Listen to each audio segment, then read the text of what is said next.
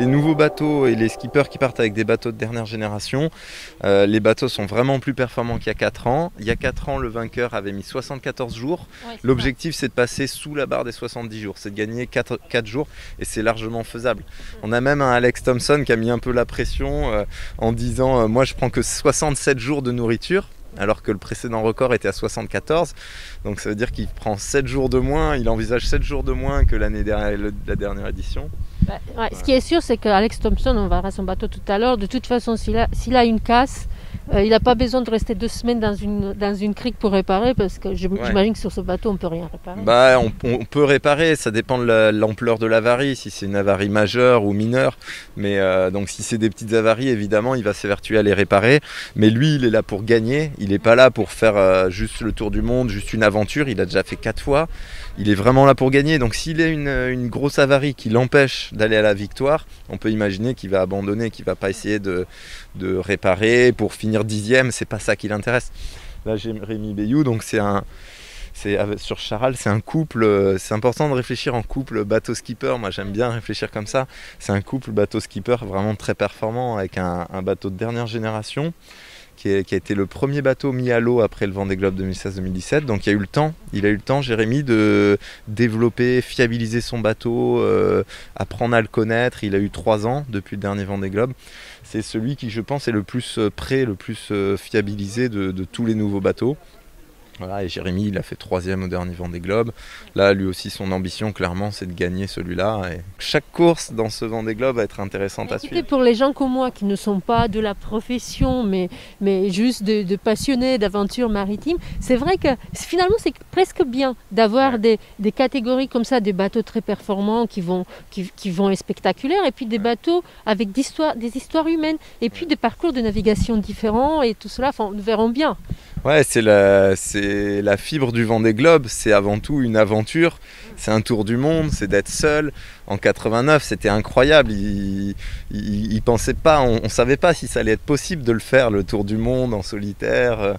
Et donc c'est bien que cette fibre d'aventure, elle existe encore. Vous dites aventure et je pensais, parce que nous sommes juste devant le bateau de Samantha Davis, et eux c'est une aventure familiale aussi, parce que les deux en mer en même temps. Ils se sont dit non, il faut qu'on le fasse tous les deux, cette aventure, il faut qu'on aille tous les deux sur le vent des globes. ils ont trouvé des solutions euh, pour ça, ils ont chacun un bateau. Et c'est une belle histoire. Samantha, elle a fait déjà plusieurs éditions, au moins deux je pense. Samantha, elle a fait euh, en 2012. Pas obligé de savoir tout de tous les skippers. Je sais pas tout, tous les skippers. Elle a fait en 2012, c'est sûr. Et là, euh, Samantha, elle a un, chouette bateau. C'était le bateau de Jérémy Bayou au dernier Vendée Globe, qu'elle a encore amélioré avec une paire de foils euh, de dernière génération, donc très puissant, très rapide. Et c'est une super compétitrice. On l'a vu sur la Vendée Arctique, elle finit quatrième, donc sur une des courses de qualification là, du Vendée Globe. Voilà, elle, est, vraiment là pour essayer de jouer aux avant-postes. Euh, on peut imaginer qu'elle elle, est capable d'être dans les cinq premiers du Vendée Globe. Charlie Dalin, en fait, euh, moi je le connais bien parce que j'ai été concurrent pendant des années sur le circuit Figaro avec lui. Et euh, il a été champion de France de course au large euh, en, Figaro. Et donc là, il y a Apivia et la Massif qui lui ont fait confiance pour faire le vent des globes. Ils ont construit un bateau neuf, donc un plan verdier, qui est le Sister Ship. C'est un bateau qui, est le même quasiment, enfin qui ressemble beaucoup à celui de Thomas Ruyant. Voilà, donc euh, là aussi on a un couple euh, bateau-skipper très performant et c'est un des skippers, un des couples bateau-skipper qui sont capables de gagner le Vendée Globe. Du coup là on a le bateau à Piscille, c'est le bateau de Damien Séguin. Damien Séguin, il a un handicap en fait, il est né avec une seule main. Il a été euh, deux fois champion paralympique en voile, cinq fois champion du monde. Donc c'est un super compétiteur, il a aussi gagné le Tour de France à la voile. C'est vraiment un super compétiteur. Moi, je connais un peu Johan Richaume qui est là en train de l'aider dans sa préparation, qui a gagné la, solitaire du Figaro. Et Johan Richaume, il a navigué avec euh, Damien Séguin et il m'a dit c'est incroyable de naviguer avec lui. Il a, il a une main en moins, mais il navigue aussi bien, si ce n'est mieux que moi. Et donc ça, c'est vraiment voilà c'est un beau challenge de sa part de dire voilà malgré son handicap euh, je peux le faire je peux faire un tour du monde et, et euh, voilà, ça va être intéressant de le suivre lui aussi. Là, c'est le bateau de Miranda Meron. Alors, je la connais moins bien parce que j'ai pas, j'ai pas été concurrent, j'ai pas navigué avec elle.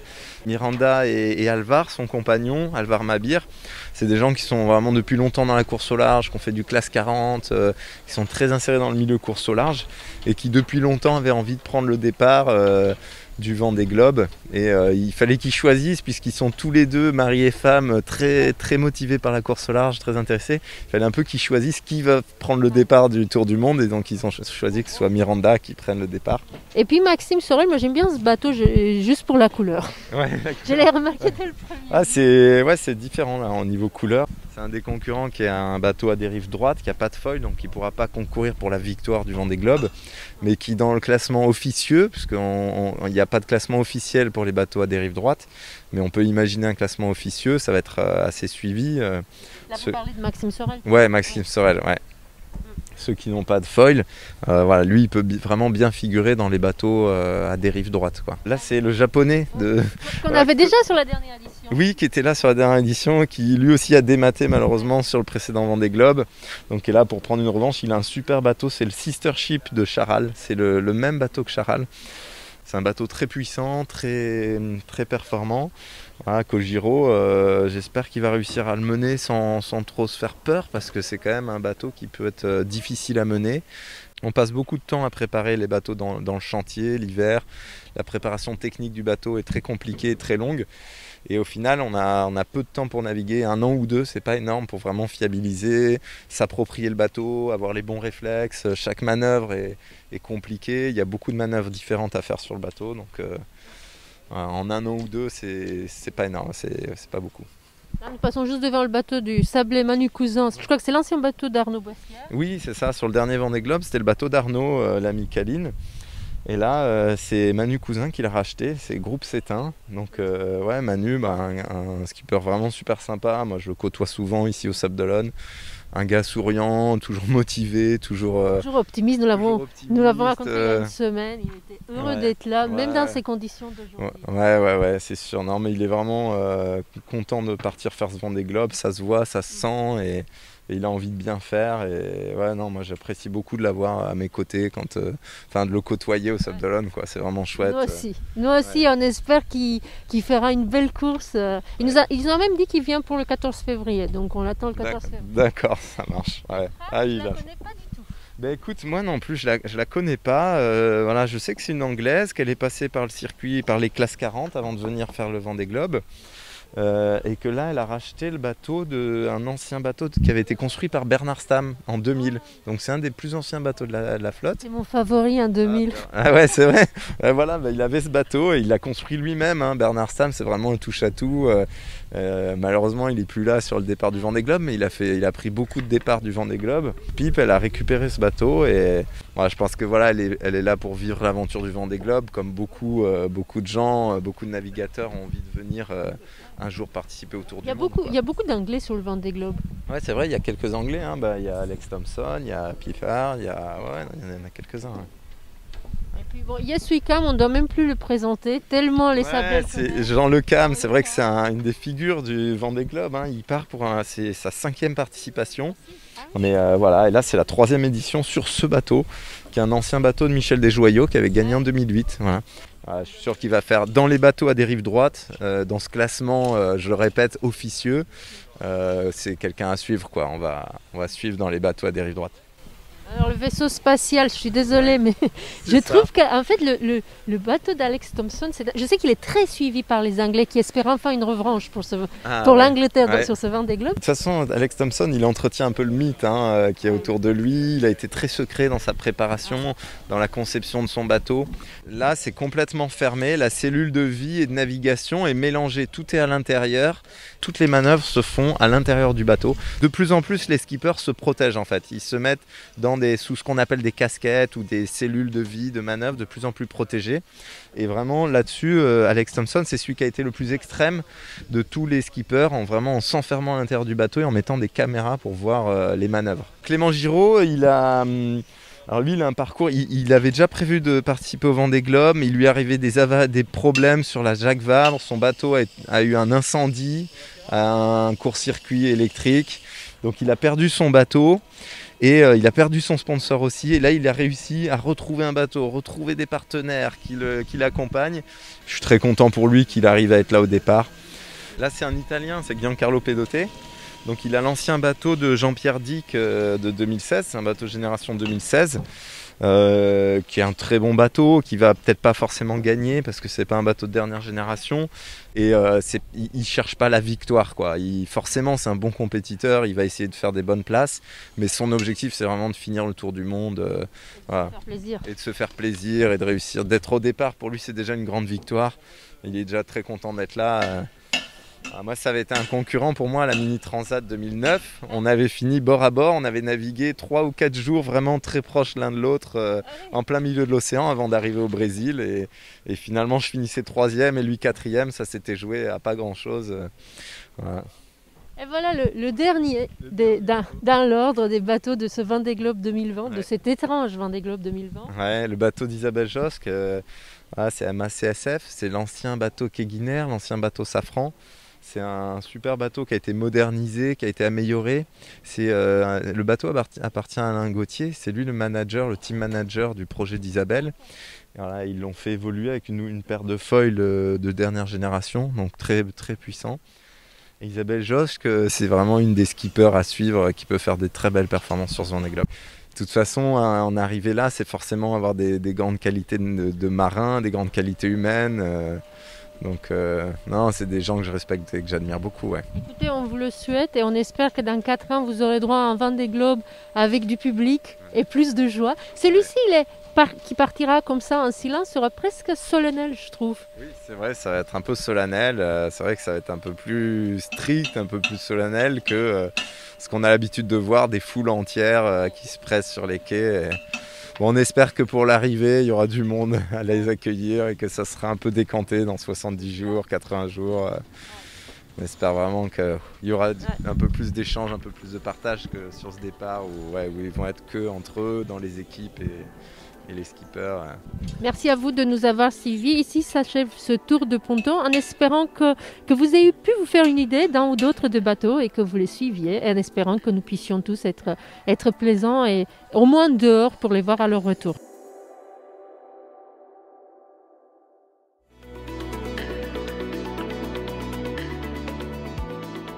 Xavier Macaire, bonjour. Bonjour Aïda. Vous êtes un des skippers Sable est très connu, de plus en plus connu. on vous a beaucoup vu sur la solitaire du Figaro. Vous êtes même, je crois qu'on peut dire, un leader du circuit, c'est cela? Ouais, c'est ça. Ça fait 10 ans que je fais la solitaire du Figaro. J'ai déjà été deux fois sur le podium et euh, cette année, j'ai gagné une étape de la solitaire du Figaro. Voilà, euh, parce que mon rêve, c'est de la gagner un jour, cette solitaire du Figaro, et aussi d'être présent au départ du prochain Vendée Globe. Voilà, cette année, je ne peux pas prendre le départ. J'ai pas le bateau pour le faire, mais j'espère que dans 4 ans, 2024, je pourrais être aussi, euh, moi, euh, m'aligner au départ de ce Vendée Globe. Alors nous avons la chance d'avoir, d'avoir de vous avoir comme guide aujourd'hui pour une petite visite rapide de bateau. Euh, est-ce que vous, je vais vous laisser nous le présenter d'ailleurs. nous, nous, commençons par aller par le premier dans l'ordre du ponton. Ouais, donc là on est sur le ponton. On a le premier bateau, c'est le bateau d'Ari Usela, donc c'est un Finlandais qui vient participer à son tour du monde. Alors lui, la particularité, c'est qu'il a un, métier à côté. Son, vrai métier, c'est pas d'être skipper, c'est il est euh, pilote d'avion. Et ils sont, ils sont que deux là sur ce Vendée Globe à avoir vraiment un métier à côté. Euh, sinon, tous les autres sont des skippers professionnels. C'est qui le deuxième? C'est Didac Costa, on le verra tout à l'heure. C'est un bateau qui est juste un peu plus loin. Donc euh, voilà, c'est l'espagnol Didac Costa.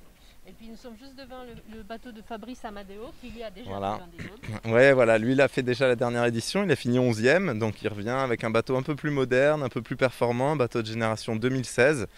Qui est, un très bon bateau, il va essayer de faire un peu mieux. Euh, il n'est pas là pour jouer non plus la victoire, mais euh, voilà, il va essayer de, faire un petit peu mieux que ce qu'il a fait à la précédente édition. Là, on a euh, Stéphane Le Diraison, Time for Océan donc qui défend la, cause pour la protection des océans, qui avait participé au précédent Vendée Globe, mais qui avait eu la malchance de démater. Donc euh, le mât était tombé, il n'avait pas pu finir son Vendée Globe. Ensuite, Alexia Barrier. Oui, Alexia Barrier. sur le Vendée Globe. C'est son premier Vendée Globe. Voilà, c'est une des six femmes engagées sur le Vendée Globe. Alors, elle a, elle a un bateau un peu historique, qui était le bateau de Catherine Chabot euh, en, en, Vendée Globe 2000, qui était le bateau Pool, et qui a déjà fait cinq tours du monde. il a fini ah les cinq tours du monde. Donc, c'est un bateau un petit peu porte-bonheur. Et voilà, et pour elle aussi, ça a été un parcours un petit peu difficile pour arriver jusque-là. Il a fallu qu'elle change la quille à seulement deux mois du départ du Vendée Globe, parce qu'elle avait une quille d'ancienne génération qui était plus réglementaire pour les règles de la classe IMOCA, des bateaux du Vendée Globe. Donc elle a été obligée de, bah, déjà de trouver les financements et puis de faire un gros chantier de modification du bateau pour... Euh, être au départ. Voilà, et c'est bah, une nana super dynamique, super sympa, et voilà, ça va être chouette de la suivre. Et puis Didac Costa juste à côté, celui qui a un autre boulot à côté. Voilà, c'est ça. Didac Costa, il avait déjà fait le Vendée Globe la précédente édition. Et, euh, et euh, lui, il est, il est, pompier dans la vie de tous les jours à Barcelone. Et voilà, et il avait eu un souci, une petite histoire avec lui, parce qu'au dernier Vendée Globe, il avait eu un souci au départ. Il était revenu au Sable d'Olonne un ou deux jours après le départ. Et les pompiers des Sables d'Olonne l'avaient aidé à réparer son bateau, à le remettre en route. Et, à l'arrivée, il avait été accueilli avec une haie d'honneur des canons à eau des pompiers. Et pour la petite histoire, il a le bateau entre les mains qui était à Hélène Marc-Arthur. Romain Athanasio, il a fait le Vendée Globe 2016. Euh, et là, c'est son deuxième Vendée Globe. Donc il avait fait avec le, le bateau que Alexia a maintenant. Et euh, alors lui, il avait eu des péripéties parce qu'il avait heurté un ovni. Il avait pris au moins 3-4 jours pour réussir à réparer ses safrans. Donc là, lui, il avait réussi le tour de force, de le faire tout seul, euh, arrêté à l'ancre, euh, le bateau dans l'eau, c'est très difficile à faire. Donc ouais, il avait fait vraiment un beau vent des globes et là, il a un bateau un petit peu plus moderne, un petit peu plus performant, mais qui est un bateau toujours à dérive droite, hein, qui n'est pas un bateau à foil. Donc c'est pas vraiment un bateau pour venir gagner. En fait, chaque skipper vient là avec son objectif propre. Et euh, ils n'ont pas tous les mêmes motivations, les mêmes raisons de venir participer au Vendée Globe. Il y a ceux qui veulent vivre une aventure, il y a ceux qui l'ont déjà fait, qui veulent le refaire et faire une meilleure performance. Il y a ceux qui sont là pour jouer vraiment dans le tableau du haut de tableau, mais qui savent qu'ils n'ont pas forcément un bateau assez performant pour gagner. Et puis après, il y a tous les bateaux neufs, tous les bateaux de dernière génération, qui eux sont des bateaux pour gagner, et des skippers qui viennent là parce qu'ils veulent gagner le Vendée Globe. C'est vraiment leur objectif. Donc il y a différents niveaux de motivation qui est propre à chaque skipper et euh, en fonction du bateau que les, skippers ont. Il a quand même la chance, c'est le skipper le plus chanceux parce qu'il est le seul à avoir la chance d'être confiné avec un autre skipper du Vendée Globe. Ah ouais, c'est vrai, avec sa femme Samantha, puisqu'ils sont tous les deux euh, mari et femme, ils vont tous les deux prendre le départ du Vendée Globe. Donc euh, ouais, c'est une belle histoire ces deux skippers, Romain Athanasio et Samantha Davis. Ben, ouais, ouais, non, mais là il a un bon bateau, un plan phare de 2008 un bon bateau.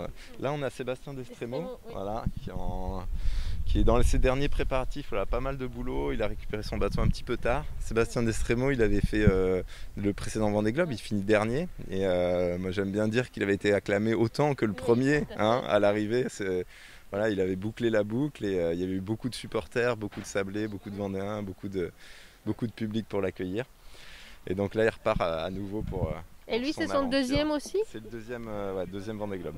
Et puis ça, on arrive à côté de lui, il a encore un, bateau avec des barres de flèches. Il y a deux types de gréements différents sur les bateaux. Les mâts classiques, avec des barres de flèches classiques, comme celui de Sébastien. Et ça, c'est les gréements classiques qui sont plutôt les gréements d'ancienne génération. Maintenant, tous les bateaux de nouvelle génération ont des, des gréements avec des mâts L. Comme celui-ci. Comme celui-là, Arkea Paprec de Sébastien Simon.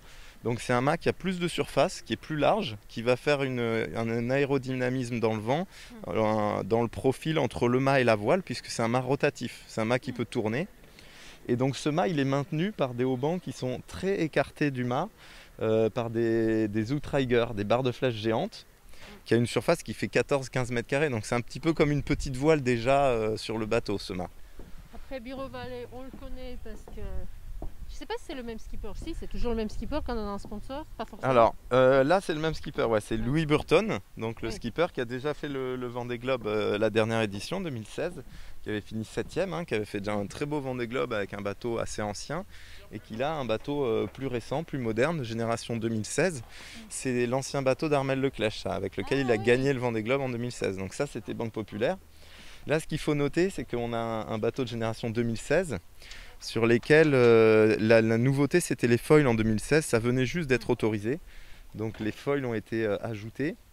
Ils étaient là pour apporter un petit peu plus de performance à des, formes de coques qui étaient déjà très, très performantes. Donc en fait les architectes misaient sur un petit gain d'environ 10% de performance grâce aux foils qui étaient ajoutés sur des carènes. Et on voit sur les nouveaux, les bateaux de nouvelle génération, euh, les foils ont été beaucoup développés, ils sont beaucoup plus grands, beaucoup plus puissants.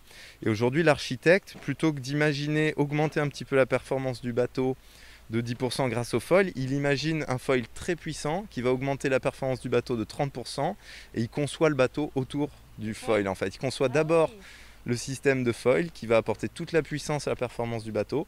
Et ensuite, il conçoit la coque. Là, c'est le bateau de Benjamin Dutreux. Benjamin, bon, c'est un, garçon de l'île Dieu, qui est originaire de l'île Dieu, qui habite au Sable d'Olonne. Voilà, donc c'est un skipper du coin qu'il faut suivre. Ah bah ouais, ouais, c'est un, des skippers qu'il faut suivre. Et là, on est justement devant le bateau d'Arnaud Boissière, qui lui va être un vétéran du Vendée Globe aussi s'il finit celui-ci.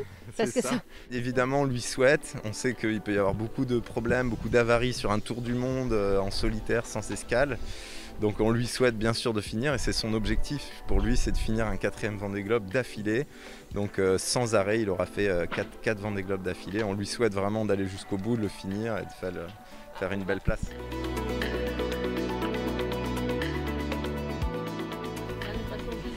Roura. Voilà le bateau d'Alain Roura. Donc euh, c'est un, ancien bateau d'Armel Leclèche. Et, euh, et, voilà, il était passé aux mains de Bertrand de Broc. Et puis c'est Alan Rora qui l'a racheté, qui l'a optimisé. Il a, il a rajouté des foils. Et euh, Alan Roura, c'était le Benjamin de la course il y a 4 ans. Et ça l'est encore, puisqu'il avait 23 ans en 2016, quand il a pris le départ du Vendée Globe 2016. Aujourd'hui, il a 27 ans. C'est encore le plus jeune de la course. Donc, ça fait deux, deux fois que c'est le plus jeune participant du Vendée Globe. Banque Populaire, Clarisse, c'est le bateau, ça c'est l'ancien bateau de François Gabard en 2012. Donc a gagné le Vendée Globe en 2012, qui a gagné la Route du Rhum en 2014 avec François Gabard et qui était dans les mains de Paul Meillat aussi dernièrement, qui a gagné la, route du Rhum 2018 avec Paul Meillat.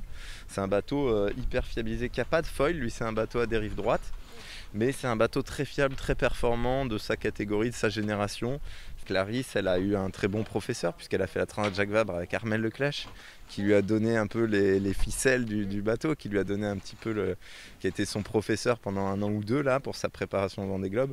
Moi je la connaissais depuis peu de temps puisqu'elle fait de la course à la voile depuis peu de temps, depuis 2015 seulement. Elle s'est mise à la course à la voile, donc ça fait que 5 ans qu'elle est dans le milieu de la course au large et elle a eu une progression assez fulgurante. C'est voilà, c'est une femme très travailleuse, très sérieuse, très très compétitive. Elle a fait une solitaire du Figaro où elle a eu, elle a fait des bonnes places pour une première participation. Elle a eu vraiment des bonnes performances. Et là, elle était propulsée assez rapidement. Il faut dire qu'elle est aussi très communicante, très bonne communicante. Là, c'est Yannick Bestaven, donc sur le bateau Maître Coq. Il a des foils aussi. Alors cette génération 2016, toujours dans l'idée où les foils n'étaient pas encore aussi, euh, aussi importants, aussi performants que les, ceux de dernière génération qui sont sortis ces dernières années. C'est un bon skipper aussi qui a gagné des courses en classe 40 et qui a aussi une revanche à prendre sur un, un, Vendée Globe qu'il euh, sur lequel il avait eu une avarie en 2008. Pour quitter le golfe de Gascogne, il avait dématé, son bateau avait dématé. Donc il avait, voilà, il avait été assez malheureux du Vendée Globe 2008. Et pour lui, c'est une revanche de pouvoir être là euh, sur ce Vendée Globe 2020. Là, on est sur euh, Malidia, donc c'est Boris Herman. Donc il a racheté l'ancien bateau de Sébastien Josse, Gitana, et il a fait évoluer avec une nouvelle paire de foils donc c'était un bateau de génération 2016 mais qu'il a amélioré avec des, des foils de génération 2020. Euh, Alors là on a un, de, mes, un de mes favoris, hein, si je peux me permettre de donner euh, quels sont mes favoris pour son Globe, parce que j'ai des, expériences, j'ai été euh, partenaire d'entraînement avec Thomas Ruyant, j'ai été concurrent en Figaro, et je le connais vraiment pour ses performances, sa pugnacité, sa détermination. Et euh, je pense que c'est vraiment un des skippers qu'il faut suivre euh, cette année et qui peut faire un très très beau résultat. Il a un bateau de dernière génération, un plan Verdier, euh, très puissant, très performant. C'est un skipper qui a déjà gagné la Mini Transat en 2009, la Route du Rhum en 2010, la Transat AG2R en 2018. Là, c'est le bateau de Nicolas Troussel, Corum. Ah, il est très particulier au niveau architectural. Ils ont choisi de faire monter la coque très haut pour faire une cellule de, de cockpit, de manœuvre très protégée. Sûrement, je pense que ça peut apporter de la rigidité au bateau, le fait d'avoir une coque assez haute comme ça, et, euh, assez d'aérodynamisme en fait, pour que l'eau ne stagne pas sur le bateau. Voilà, il y, a des, choix architecturaux qui sont très différents euh, les uns des autres en fait par rapport aux architectes, par rapport au bateau. Euh, là, c'est un plan Jean. c'est le même, le même architecte que le bateau de Sébastien Simon, Arkea Paprec. Et donc même avec le même architecte, il y a quand même des différences entre ces deux bateaux qu'il a dessiné. C'est un bateau qui est, qui est construit en fonction de foil, on sait doute, mais je trouve la taille de foil absolument impressionnante. Ça permet d'augmenter sensiblement la vitesse du bateau, d'accélérer. Après, ça apporte beaucoup d'inconfort pour le skipper, parce que quand le bateau monte sur le foil, au moment où il redescend, ça peut être des, des chocs assez violents, le bateau accélère très vite et quand il va redescendre, qu'il va retoucher l'eau, il freine beaucoup. Donc voilà, ce qu'il va falloir suivre sur ce Vendée Globe, c'est la résistance des skippers sur la difficulté de, mener ces bateaux euh, ah très puissants et très performants. La résistance ça, mal de dos, tout ça. La résistance voilà, physique, euh, mentale sur cette difficulté que représentent euh, les nouveaux bateaux en fait. toujours plus rapides, toujours plus puissants, mais toujours plus inconfortables. Ben, parlant de nouveaux bateaux, l'Occitane en Provence, qu'on n'a pas pu rater au Sable de parce qu'à chaque fois qu'il sort avec ses voiles noires et, jaunes, euh, on le remarque. Euh, c'est très beau, ouais. C'est un, nouveau, un des nouveaux bateaux, mais avec une particularité, me disiez-vous, la coque, euh, la, la proue est coupé. Ce que je disais, le fait que le bateau monte sur son foil, qu'il se soulève au-dessus de l'eau et quand il redescend, ça donne des chocs assez violents. L'intérêt, c'est justement que le choc soit moins, violent à la redescente, que le bateau conserve sa vitesse, qu'il ne soit pas freiné et qu'il puisse redécoller le plus vite possible. Donc c'est un principe d'avoir une étrave ronde, très large. On ne le voit pas d'ici parce qu'on n'est pas en face du bateau, mais l'étrave est très, très large, très ronde. Et elle est coupée sur le bas pour pas que ça donne de choc au moment de l'impact avec les vagues et au moment de la redescente dans l'eau. Ce bateau, l'objectif en fait de ces choix architecturaux, c'est que le bateau ressemble plus à un multicoque dans sa manière de fonctionner qu'à un monocoque, ce qui le rend plus performant. Voilà, là c'est PRB. En fait, PRB pendant des années, le skipper c'était. En fait, il y a eu plusieurs skippers. PRB c'est un sponsor historique des, du Vendée Globe. Il y a eu euh, Isabelle Autissier, il y a eu Michel Desjoyaux qui a gagné en 2000, Vincent Rioux qui a gagné en 2004, qui a participé aussi en 2008, en 2012, en 2016. Et là, en fait, Vincent Rioux, il a repassé la barre à Kevin Escoffier, qui est un très bon skipper qui a, participé à la Volvo Ocean Race, donc un, très bon euh, navigateur pour de la course au large, pour du Tour du Monde. Il a déjà une expérience du Tour du Monde, même si c'était pas en solitaire, c'était en équipage. Là, il va être en solitaire, mais euh, et c'est toujours le bateau de Vincent Rioux de 2008, mais qui est un bateau très bien né, qui, a longtemps été performant euh, aux avant-postes. Ils ont modifié le bateau en ajoutant des foils de dernière génération. Voilà, donc c'est pas un bateau totalement de dernière génération, mais c'est quand même un bateau performant avec un très bon skipper euh, qui peut faire euh, dans les 5 dans les cinq premiers du Vendée Globe, quoi, qui a la capacité de le faire.